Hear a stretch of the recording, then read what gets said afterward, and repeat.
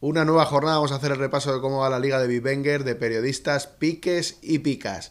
El líder es eh, Tomás Roncero, sigue comandando la clasificación con 379 puntos. Segundo es el Graná de Marco Ruiz con 351 puntos y tercero va el Gabilondos United con 328 puntos, el equipo de Ari Gabilondo. Cuarta está Carmen Colino con su equipo y el Chusatín, el equipo de María Jesús Luengo, es quinta casi con 300 puntos. El equipo de Roncero debe eh, mantener su liderato al gol que hizo Modric, ya que tiene al futbolista mejor puntuado en este Bivenger de esta temporada, el mejor fantasy del fútbol mundial, que lo tenemos en ¿Quién es el mejor puntuado? Pues Santi Cazorla. Eh, esos puntos le han llevado a volver a ser convocado por el seleccionador nacional, por cierto.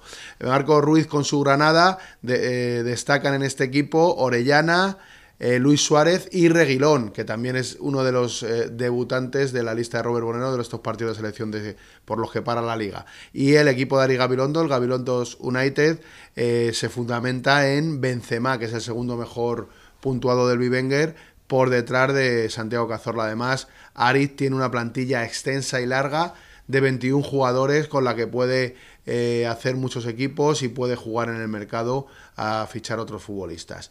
Este es Bivenger, esta es la liga periodista, periodistas Piques y Picas y Roncero comanda la clasificación y después de la próxima jornada, una vez que pase el parón de selecciones, será el propio Roncero el que os cuente sus sensaciones de esta liga.